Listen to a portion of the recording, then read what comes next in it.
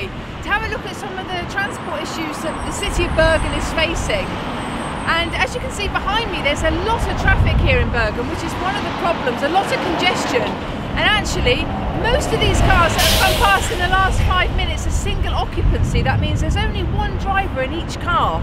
So what we want to do today is check out and see how the Share North project is helping addressing shared mobility here in Bergen and getting some of these cars off the road. So here we are in another part of Bergen where there's a problem with many parked cars in the residential area.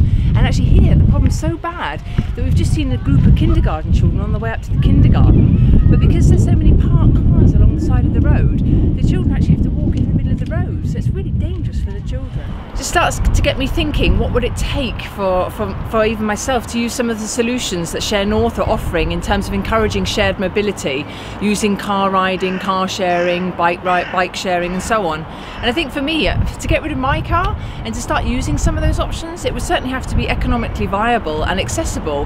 But I think I would consider giving up my car and using some of these solutions.